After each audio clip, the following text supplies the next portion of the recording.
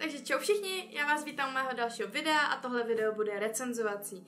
Mám tu paletku, ale ne ledajakou paletku, mám tu paletku od Revolution, která je ve spolupráci s českou youtuberkou Petrou Lovely Hair. Já jsem tu paletku ještě neviděla, a společně se na ní podíváme, já vám k tomu řeknu svůj názor, jestli se mi paletka líbí, jestli ty stíny jsou v pohodě a nebudu to dále okecávat, můžeme jít rovnou na to. Paletku jsem zakoupila včera v Rossmanu za 359 korun. Myslím si, že cena je naprosto optimální za takovou paletku, kde je 36 očních stínů. Myslím si, že je cena v pohodě, ale uvidíme. Design je teda moc hezký, líbí se mi tam matná verze, že to je něco jiného. Je strašně příjemná, akorát teda paletka se docela stuha otvírá.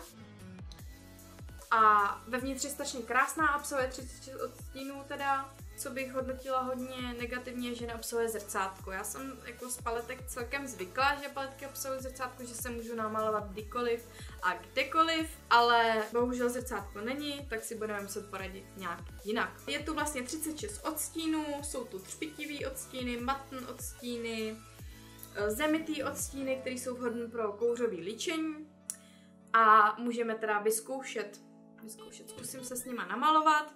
Jelikož mám výraznou pusu a nechci si ji odmalovávat, tak uděláme nějaký hodně obyčejný kouřový stíny s hodně obyčejnýma barvičkama, aby mi to ladilo v puse. A pak si pusu odmaluju a zkusíme něco víc crazy.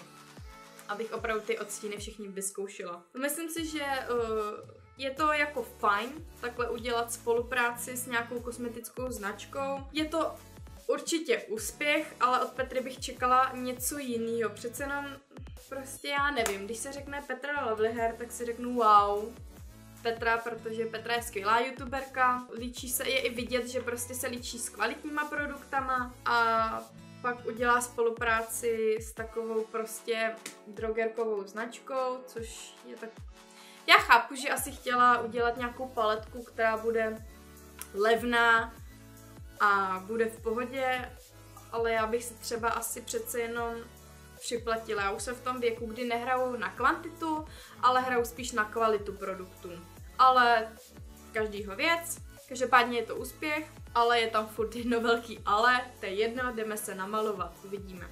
Ježi, já strašně miluji takový ty zlatý odstíny, já jsem v tom úplná straka. A asi to zůstane dneska u očních stínů. Zvemu plochý štětec a vyberu si, mm, mm, začnu nějakou světlou.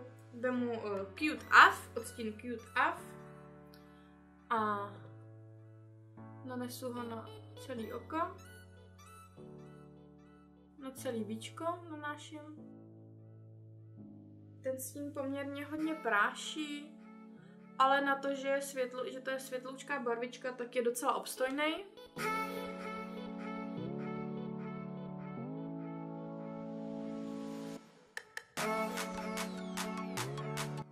Tak, eh, do vnitřního koutku si dám uh, ostín Golden Boy. Ne, řekla jsem, že u těch zlatých nebudem. Dáme B-Dagger. Vemu si uh, malý štětec a vemu si odstín B-Dagger a ten nanesu do vnitřní části oka. Mě to hrozně rozčilo, jak furt musím koukat do toho zrcadla a nemůžu koukat do té paletky, teda to mě fakt rozčiluje. Teď si vůbec nedrží na tom oku, mi přijde teda, no. No, teda ten je hodně blbý, hodně opadává.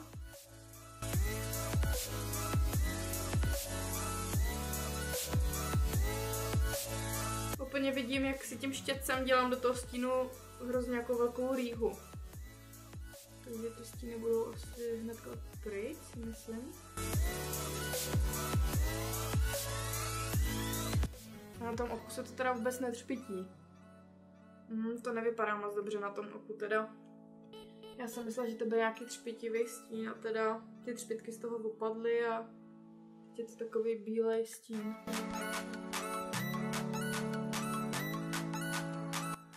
Několika vrstvách teda to kryje.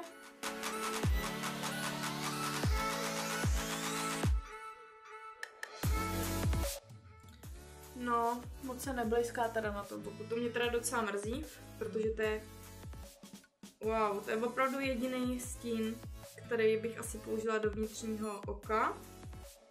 Tak to je blbý teda. Hm. OK, jdeme dál.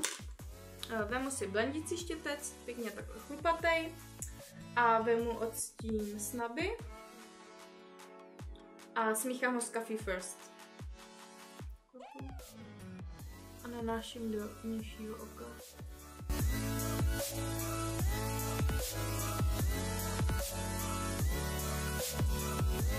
Samý na druhý.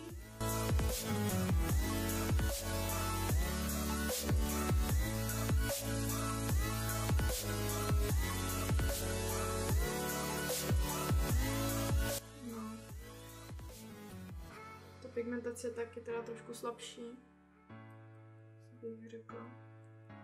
Vy, co jste si už přičuchli k těm lepším stínům, asi to nebude úplně nic pro vás.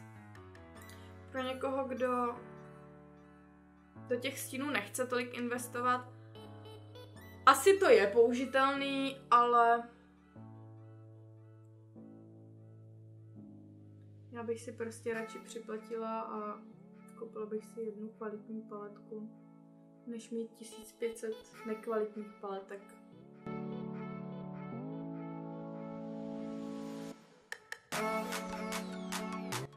A když se to rozblendí a navrství, tak to docela jde.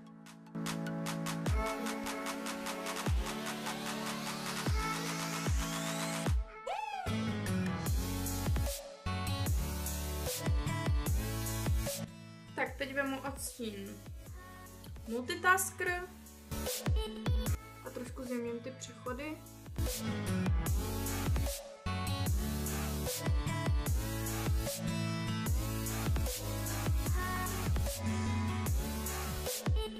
No a ty stíny teda hodně práší, hodně opadávají. Mám třeba stín úplně tady, což fakt nechápu. Super. Takže nejdřív si dělejte oči, pak si dělejte make-up, OK. Teda fakt mě irituje, jak se musím koukat do toho zrcátko. Já jsem prostě zvyklá, že líčím, paletka, líčím, paletka. Teda jako zrcátko v paletce, chápeme se. Ale to mě fakt rozčiluje.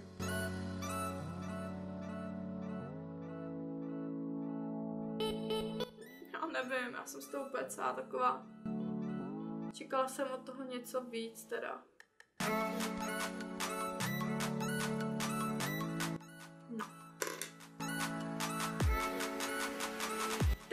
Vzala oh, All Black Everything. Jsem zvědavá na to, jelikož černý stíny mají některé i značkový produkty problém s černýma stínama, tak jsem zvědavá. Teda nejdřív mám na ruku, No. Jako tohle je černý, to je spíš taková šedá. Spíš jako all grey everything, než all black everything, ale uvidíme. A uděláme si s tím jakoby linku.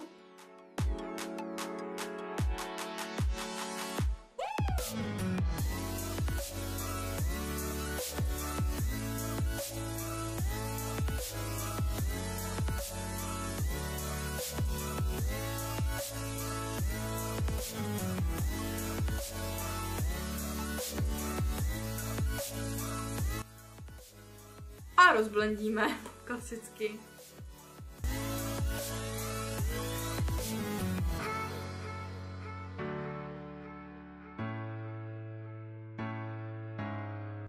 Já nevím, mně se s těma stínama strašně blbě jako pracuje. Jsou strašně nepodajní. Mm, to mě mrzí. Jsou fakt strašně nepodajní. Co teď no? Co teď s tím? To je příšerný. Tohle už asi nevylepší nic, si myslím. Prostě ty stíny se vůbec jako neblendí. Nejde to. Jako prostě vůbec. Tam tu linku prostě furt mám. Uh, no nic, já to jdu odmalovat a zkusíme pokus číslo dvě. Pokus číslo dvě. Ty to mě fakt rozčiluje to otvírání. To je fakt šílený teda. Tak jdeme odstín. Yes? Jdeme na celíčko.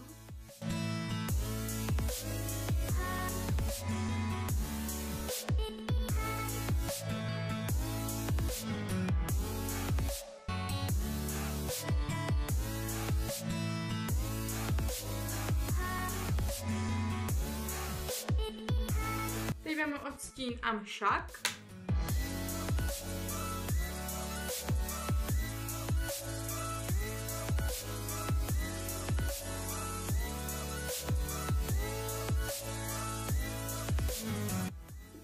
Je moc hezká barva, teda. Ten stín je příjemný, je takový hodně dobře eh, podatelný, je krémový, hodně dobře se s ním pracuje, musím říct.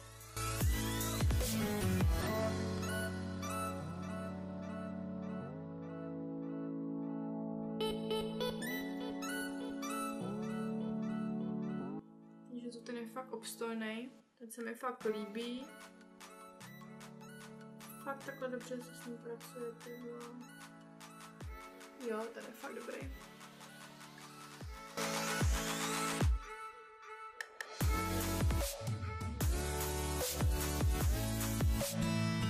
Tak, teď abych vyzkoušela, mně se nejvíc líbí odstín Candy Apple, tak ho vyzkoušíme, ačkoliv na očích tyhle barvičky moc nenosím.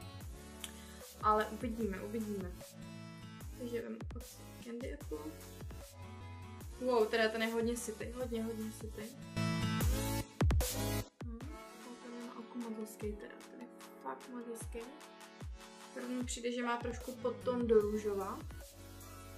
Což mi přijde, že pak působí trošku píčovitě.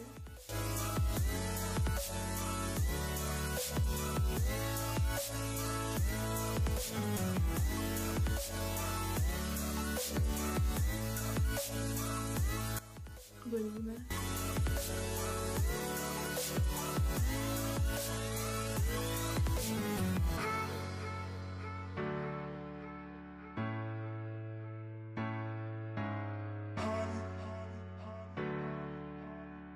No a teď bych potřebovala nějakou tu barvičku, kterou bych si dala do vnitřního koutku. Nějaký třpitivý světlý odstín, který jakoby to oko rozáří. Ten tu teda moc není, no. Hm, Zapotám úplně všechny štětce. Tak zkusíme ten B-Day Girl. Dám mu šanci.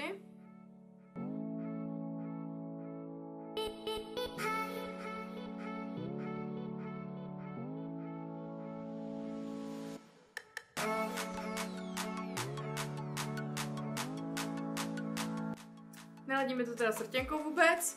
K tomu bych použila nějakou nude srtěnku spíš než tohle ale nic lepšího s tím asi úplně nevykouzlím, jelikož já nevím, mě tam prostě chybí nějaký stíny, který jako zjemní ten přechod, který se dají do toho vnitřního koutku nebo podlinku. Myslím si, že určitě si nevystačíte jenom s touhle paletkou, asi to bude chtít mít k tomu ještě něco, kde právě ty chybějící odstíny budou. Některé stíny jsou teda příšerný, třeba odstín Banana Milk, ten je strašně světlouký uh, a některé ty stíny fakt hrozně opadávají. U toho odstínu BD Girl mě hrozně zklamal, že už jsem tam, asi třikrát jsem tam projela štětečkem a jak ten štěteček je tak jemně slisovaný, tak tam mám už jako úplně díru, takže asi bych řekla, že v poměru cena výkon OK, v poměru výkon versus Petra Lovelyhair, to bych řekla, že je hodně špatný, myslím si, že asi Petra má navíc a co víc tomu říct, no, je to prostě drogerková kosmetika, Nikdy to asi nebude úplně nic extra, protože drogerky mají ty stíny hodně slabý. Já bych si ji asi znova asi nekoupila, asi nikomu z mého okolí nedoporučím, ale kdo třeba začíná s make-upem nebo opravdu si hraje spíš na tu kvantitu, tak ta paletka je OK, ale no nevím, asi se nebudu pouštět do něčeho mě nesedla konkrétně, nebudu se tady pouštět asi do nějaký větší debaty a tím bych to uzavřela. Tak jo, tak to by bylo všechno pro dnešní video a vidíme se u dalšího videa. Pa!